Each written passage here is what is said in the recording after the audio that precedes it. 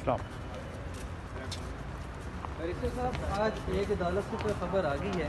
इज़्ज़त केस का फैसला तो महफूज हो गया है। आज आप समझते हैं कि साइफर केस में भी ये नवीद आएगी और कहीं ना कहीं आपका इंतज़ार ख़त्म होगा और फैसला महफूज होगा। जी मैं उम्मीद करता हूँ तकरीबन क्योंकि केसेस में आर्ग्यूमेंट्स तकरीबन कंक्लूड हो गए हैं। इद्दत और निकाह में भी लिंगर ऑन ही होता रहा है। वरना एज सच केस में सब्सटेंस कोई नहीं था।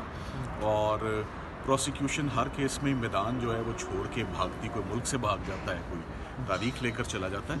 सो साइफर केस में भी आज ऑनरेबल जजेस की तरफ़ से बड़ी क्लियर इंडिकेशन और गाइडलाइंस हैं। दोनों पार्टी